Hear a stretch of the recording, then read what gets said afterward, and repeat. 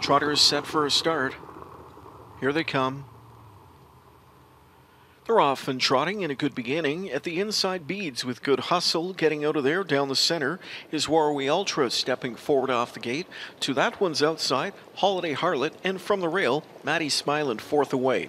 Floating fifth at that one's wheel is go time, backing up to get a seat for Saftik there. Further back we go to find Knopfler.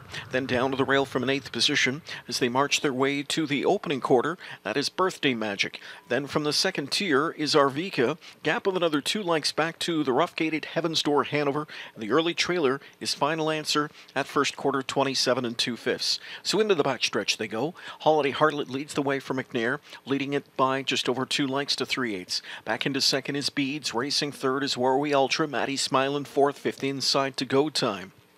Go time starts a move. Holiday Harlot wasn't trotting well behind, wound up making a break going to the midway point, so the lead falls in the lap of MacDonnell as Beads takes over in 57 seconds flat. Back to second Warrawee Ultra.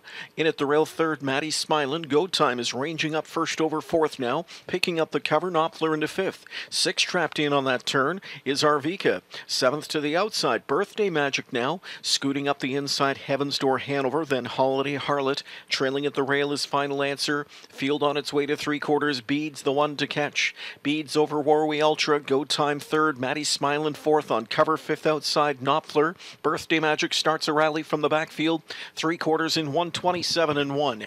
And Beads spins into the stretch. The lead a length and a half. Warrawee Ultra tripped out in the pocket spot, tips out now for the drive. Here off cover from the backfield, Knopfler closing up. Birthday Magic 2. Beads the one to catch though. It's Beads clear by a length and a half. Warrawee Ultra, Birthday Magic with late speed. Beads digs in, and Beads will score. It's Beads in front by three quarters of a length. Birthday Magic just too far to come. Second best. Third was Warrawee Ultra, and Knopfler finished fourth.